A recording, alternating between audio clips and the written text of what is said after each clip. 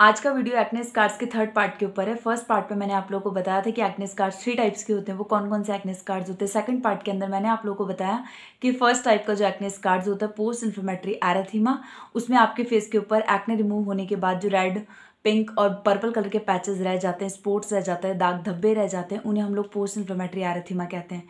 Second video में मैंने आप लोगों को ये भी बताया कि इसका ट्रीटमेंट आप लोग कैसे कर सकते हैं कौन कौन सी मेडिसिन ले सकते हैं कौन कौन से क्रीम्स आप लोग यूज़ कर सकते हैं, कौन सा जेल यूज़ कर सकते हैं कौन कौन से एसिड आपकी स्किन के लिए अच्छे हैं, कितने टाइम में आप घर में उस प्रॉब्लम को ट्रीट कर सकते हैं, क्या प्रिकॉशंस ले सकते हैं, क्या साइड इफेक्ट्स देख सकते हैं। तो अगर आप लोगों को ऐसा कोई प्रॉब्लम है तो आप लोग इसका सेकंड पार्ट चेक कर सकते हैं। मैं डिस्क्रिप्शन में फ़र्स्ट और सेकंड दोनों पार्ट्स का लिंक शेयर कर दूँगी।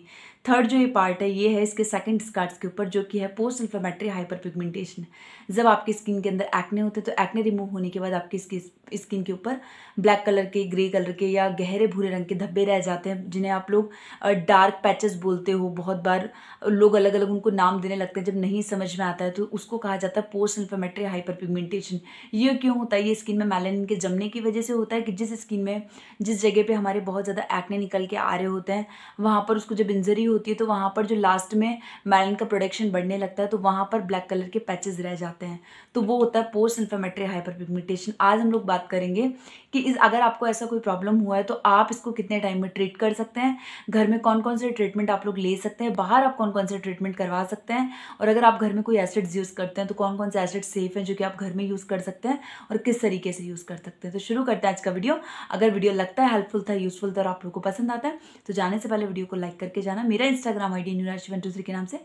आप लोग मुझे वहाँ पर भी फॉलो कर सकते हैं। तो पीआईएच को ट्रीट करने के लिए पहला आता है रेटिनोइड्स रेटिनोइड्स में रेटिनो ए है ट्रेटिनोइन रेटिनो ए है माइक्रो टाजरोटेन है, साथ में एडाफलिन है। तो ये जो सारी चीज़ें रेटिनो ए यानी कि विटामिन ए के ही डेरिवेटिव है पार्ट है। विटामिन ए स्किन के अंदर क्या करता है? जब हम लोग रेटिनोइड्स अपनी स्किन के अंदर करते हैं तो इसका जो मेन काम होता है, वो सेल टर्नओवर का होता है। पीआईएच को इम्प्रूव करने के लिए, उसको हल्का करने के लिए, उसके स्पोर्ट्स को कम करने के लिए रेटिनोइड्स एक बहुत अच्छा एसिड्स हैं, जो कि हम फेस के ऊपर 0.25 0.5 परसेंट में यूज़ कर सकते हैं। और अपनी स्किन के अकॉर्डिंग टॉलरेट के अकॉर्डिंग उसको यूज़ कर सकते हैं। दूसरी चीज़ जब आप लोग इसको यूज़ करते हो तो ये आपके स्किन के सेल्स टर्नओवर को बढ़ाता है। आपकी स्किन की जो ऊपर वाली स्किन है, उसको एक्सफोलिएट करता है, उसको हटाता है। ऊपर वाली लेयर हटाकर नई लेयर लेकर आता है, आपकी स्किन में नए सेल्स बनाता है।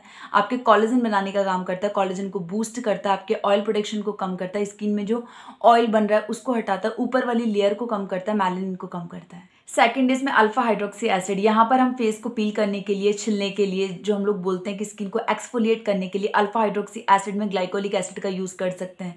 यहाँ पर अगर हम कॉम्बिनेशन में ग्लाइकोलिक एसिड सालिसिक एसिड से चाहें तो इन दोनों में से कोई भी एक एसिड लेकर, अगर अपनी स्किन को एक्सफोलिएट करते हैं पील करते हैं तो हमारी जो स्किन की ऊपर वाली लेयर है, वो एक्सफोलिएट होती है। ग्लाइकोलिक एसिड के बारे में मैंने पहले भी बताया कि ग्लाइकोलिक एसिड के मॉलिकुलर जितने ज़्यादा स्मॉल्स होते हैं, इतने ज़्यादा छोटे होते हैं कि वो ईजिली आपकी स्किन के अंदर पेनेट्रेट हो जाते हैं।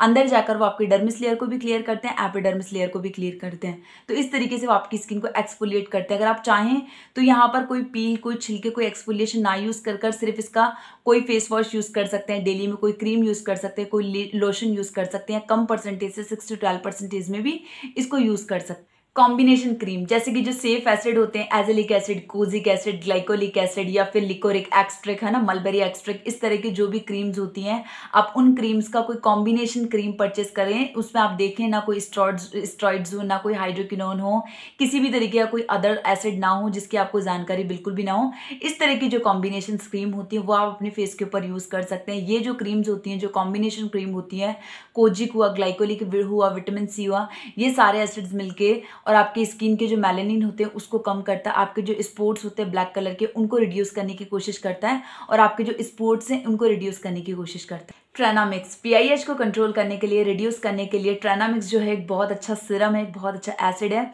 आप लोग चाहें तो मिनिमल इसका थ्री परसेंट ट्रेनामिक्स पे मेरा ऑलरेडी एक वीडियो अपलोड है, वो भी जाकर चेक कर सकते हैं। जब आपकी स्किन में पोस्ट इन्फॉर्मेटरी हाइपर पिगमेंटेशन होता है, यानी कि ब्लैक काले, भूरे, किसी भी तरीके के अगर डार्क धब्बे होते हैं, इसको रिड्यूस होने की जैसे बहुत टाइम लगता है। लेकिन अगर आप लोग अपने ऑल्टरनेटिव डेज़ में जैसे कि रेटिनोइड्स यूज़ कर रहे हैं ग्लाइकोलिक यूज़ कर रहे हैं, या फिर कोई भी हाइड्रोकिनोन वगैरह यूज़ कर रहे हैं तो उस बीच अगर आप लोग चाहें तो थ्री परसेंट ट्रेनामिक्स का सिरम भी यूज़ कर सकते सकते हैं ऑल्टरनेटिव डेज़ में यूज़ कर सकते हैं।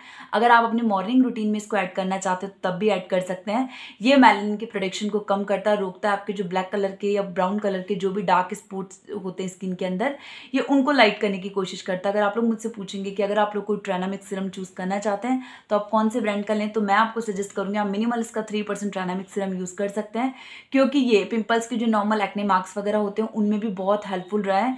उसके पिगमेंटेशन को भी कम करने में बहुत, साथ में अगर आपको एज स्पोर्ट्स मेलाजमा का प्रॉब्लम है इन सबके बीच तो आप उस कंडीशन में भी थ्री परसेंट ट्रेनामिक्स यूज़ कर सकते हैं। पीआईएच को कम करने के लिए अल्फ़ा आर्बिचिन भी एक बहुत अच्छा एसिड है जो कि आप यूज़ कर सकते हैं। जैसे कि अभी मैंने कोजी ग्लाइकोलिक विटामिन सी या आर्बिचिन के साथ एक कॉम्बिनेशन क्रीम आप लोगों को बताई थी। लेकिन अगर आप ये यूज़ नहीं कर रहे हैं तो आप इस बीच अगर कोई सिरम चूज़ करना चाहते हैं अपनी स्किन पे तो वो अल्फ़ा आर्बिचिन यूज़ कर सकते हैं। जैसे कि ट्रेनामिक्स मेलाइन के प्रोडक्शन को कम करता है उसी तरीके से अल्फ़ा आर्बिचिन भी जो होता है, वो मेलाइन के प्रोडक्शन को कम करता है आपके स्पोर्ट्स को रिड्यूस करता है। साथ में अगर आपके फेस के ऊपर सन स्पोर्ट्स हैं एज स्पोर्ट्स हैं एक्ने के स्पोर्ट्स हैं, या फिर आपको पी और पी पीआईएस दोनों है, उस कंडीशन में भी आप लोग अल्फ़ा आर्बिचिन यूज़ कर सकते हैं। ये आपके सभी तरह के स्पोर्ट्स को कम करता है मेलानिन को रिड्यूस करता है, साथ में आपका जो कॉम्प्लेक्शन है ये उसको भी क्लियर करने की कोशिश करता है। पीआईई e के ट्रीटमेंट के लिए मैंने आपको विटामिन सी बताया था। विटामिन सी को पीआईई e हो या पीआईएच हो, आप दोनों ही कंडीशन में यूज़ कर सकते हैं। विटामिन सी के अंदर anti inflammatory and anti inflammation properties होती है, जो कि इन फेस का जो इन्फेक्शन होता है, जो एक्ने के बाद का इन्फेक्शन होता है, उसको रिड्यूस करता है। ये आपकी स्किन के अंदर नया कॉलेजन बनाता है कॉलेजन को बूस्ट करता है। साथ में इसमें कुछ ऐसे गुण होते हैं जो कि आपकी स्किन को रिपेयर करते हैं हीलिंग कैपेसिटी रखते हैं एंटी बैक्टीरियल प्रॉपर्टीज़ रखते हैं, जो कि आपकी स्किन को क्लियर करता है टेक्स्चर को स्मूथ करता है, त्वचा को कोमल बनाता है लाइटन करता है, आपके स्पोर्ट्स को रिड्यूस करता है। साथ में अगर आपकी स्किन में ऑयल वगैरह बनता है उसको भी रिड्यूस करता है, आपकी स्किन के बैलेंस को मेंटेन करके रखता है। आप इसको अपने रूटीन में जो भी क्रीम्स वगैरह यूज़ कर रहे हैं, उनके साथ एसिड्स चेक करके और यूज़ कर सकते हैं ऑल्टरनेटिव डेज़ में। आपको एक्ने स्कार्स का प्रॉब्लम है या कोई भी प्रॉब्लम है, जब भी आपको ट्रीटमेंट लेते हैं तो उसके साथ सनस्क्रीन बहुत ज़्यादा कंपलसरी है। सनस्क्रीन क्यों कंपलसरी है? आपकी स्किन में कोई भी प्रॉब्लम है।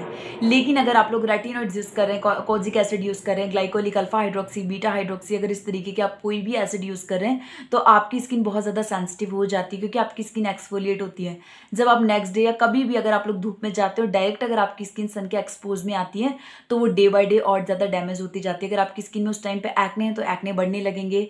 अगर एक्ने नहीं है तो शायद एक्ने होने लगेंगे। जो आपका पोस्ट इन्फ्लेमेटरी एरेथीमा है या फिर पोस्ट इन्फ्लेमेटरी हाइपर पिगमेंटेशन है वो डे बाय डे और ज़्यादा स्ट्रॉन्ग हो सकता है और उसको रिड्यूस होने में और ज़्यादा टाइम लग सकता है। बहुत बार वो बहुत कंडीशन में इरिटेट भी होने लगता है। तो अपनी स्किन को प्रोटेक्ट रखने के लिए at least S P F fifty रखें। अगर आप ये सारे एसिड यूज़ कर रहे हैं तो, तो सनस्क्रीन कंपल्सरी आप लोग को यूज़ करना ही करना है। अगर आप अपने फेस के लिए पोस्ट इन्फ्लेमेटरी हाइपर पिगमेंटेशन में कोई अच्छा फेस वॉश चूज़ करना चाहते हैं तो जैसे कि मैंने आपको बताया, आप अल्फ़ा हाइड्रोक्सी एसिड में ग्लाइकोलिक एसिड चूज़ कर सकते हैं, या फिर आप सेलेसिक एसिड का भी चूज़ कर सकते हैं पोस्ट इन्फ्लेमेटरी हाइपर पिगमेंटेशन में कोई भी अच्छा फेस वॉश एजिलिक एसिड, ये भी पीआईएच के लिए बहुत अच्छा है, जिस तरीके से पीआईई के लिए अच्छा है। कुछ एसिड्स ऐसे हैं जो कि पीआईई और पीआईएच दोनों के लिए बहुत ज़्यादा हेल्पफुल है। कॉम्बिनेशन में अगर आप लोग चाहें तो इन्हें यूज़ कर सकते हैं। यहाँ पर एजिलिक एसिड जो है, वो आपकी स्किन से ऑयल को कम करता है। ऑयल बनता है जो आपकी स्किन में। उसके जो पोर्ट्स होते हैं पोर्ट्स में जो ऑयल रेड पॉल्यूशन होता है, उसको क्लियर करता है। ये भी सेल्फ टर्न का काम करता है, आपकी स्किन को एक्सफोलिएट करता है। अगर आपको स्पोर्ट्स के साथ साथ पोस्ट इन्फॉर्मेटरी हाइपर पिगमेंटेशन के साथ कंटिन्यू अगर एक्ने भी हो रहे हैं तो यून एक्ने को भी रिड्यूस करता है। और आपके एक्ने को भी कम करता है। साथ में अगर आपकी स्किन में इन्फ्लेमेशन हो रहा है स्वेलिंग हो रहा है रेडनेस हो रहा है, ये उसको भी कम करता है। एलोवेरा जेल, अगर आपको एक्ने हो एक्ने ना हो स्किन में कोई प्रॉब्लम हो या ना हो, एलोवेरा एक बहुत अच्छी चीज़ है। अगर हम होममेड चीज़ों की बात करें तो फ्रेश एलोवेरा लीव स्किन के लिए बहुत ज़्यादा अच्छी होती है। इसमें विटामिन ए होता है सी होता है ई e होता है, साथ ही इसमें काफ़ी ज़्यादा एंटी इन्फ्लेमेटरी और एंटी बैक्टीरियल प्रॉपर्टीज़ होती हैं, जो कि स्किन के लिए बहुत ज़्यादा अच्छी हैं। ये काफ़ी ज़्यादा हाइड्रेट होता है। इसमें सैमिनो और अमीनो एसिड भी होता है, साथ में आपकी स्किन के जो इन्फ्लेमेशन होता है रेडनेस होता है एक्ने होता है, उसको रिड्यूस करके आपकी स्किन को काम सूद बनाता है। अगर इन सबके साथ अगर आप घर में इसके लिए अगर माइक्रो नीडलिंग करना चाहते हैं, कम एम का ज़ीरो पॉइंट फाइव एम का डर्मारोलर यूज़ करना चाहते हैं, आप वो यूज़ कर सकते हैं। किसी भी कंडीशन में अगर आपको बहुत ज़्यादा पोस्ट इन्फॉर्मेटरी हाइपर काफ़ी लॉन्ग टाइम का है, अगर आप डॉक्टर के पास लेना चाहते हैं तो आप लेज़र ट्रीटमेंट ले सकते हैं। वो लोग आपकी फेस को देखकर डर्माब्रेशन दे सकते हैं, आप लोगों को फिर माइक्रो नीडलिंग दे दे सकते हैं। वो आपकी स्किन के अकॉर्डिंग ही आपको केमिकल पील्स वगैरह प्रोवाइड करवाते हैं। वो फिर अपना ट्रीटमेंट देखते हैं, उनका सब कुछ बहुत अलग होता है, क्योंकि वो काफ़ी प्रोफेशनल होते हैं। वो चीज़ हम लोगों के साथ नहीं है। तो यहाँ पर पर हम लोग के लिए ये है, मैं एक बार फिर से बोल रही हूँ, अगर आप लोग हाइड्रोकिनोन वगैरह यूज़ करते हैं तो प्लीज़ किसी डॉक्टर से सजेशन लेकर ही यूज़ करें डायरेक्ट अपने फेस के ऊपर अप्लाई ना करें, वरना ये स्किन के अंदर इरिटेशन रेडनेस कर सकता है। तो ये था मेरा पोस्ट इन्फ्लेमेटरी हाइपर पिगमेंटेशन को लेकर वीडियो ये सारे एसिड्स थे जो कि आप यूज़ कर सकते हैं अपनी स्किन के ऊपर। ऑल्टरनेटिव डेज़ में यूज़ कर सकते हैं, कोई रूटीन बनाकर ऐड कर सकते हैं। मॉइस्चराइजर सनस्क्रीन कंपल्सरी है जो कि यूज़ करें। जब भी कोई मॉइस्चराइजर अपनी स्किन के लिए चूज़ करें तो प्लीज़ अपनी स्किन की जो टाइप्स है, उसको देखकर चूज़ करें। नॉन कॉमेडोजेनिक मॉइस्चराइजर लें, हमेशा उसमें कोई पैराबिन ना हो, किसी भी तरीके का कोई मिनरल ऑयल वगैरह ना हो, सारी चीज़ें चेक करिए अपना फेस वॉश हो, चाहे फिर आपका मॉइस्चराइजर हो सनस्क्रीन हो, सारी चीज़ें बहुत अच्छे से चेक करके लिए। अगर लगे वीडियो यूजफुल था, आप लोगों को पसंद आया तो वीडियो को लाइक करके जाना। इसका जो थर्ड पार्ट है, जिसमें एट्रोफिक स्कार्स हैं, उसमें ice pick rolling boxer scars तीनों टाइप्स के स्कार्स का ट्रीटमेंट मैं आप लोगों को इसके जो फोर्थ पार्ट है, उसके अंदर शेयर करूँगी। Thank you